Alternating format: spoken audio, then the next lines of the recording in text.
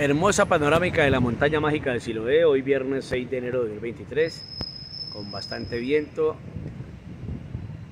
cable operando normalmente energía normal y con una panorámica de lluvia acá en la ciudad de Cali. Llovió en la tarde, no fue muy fuerte, pero va a seguir lloviendo según este viento frío que nos ataca a estas horas de la tarde.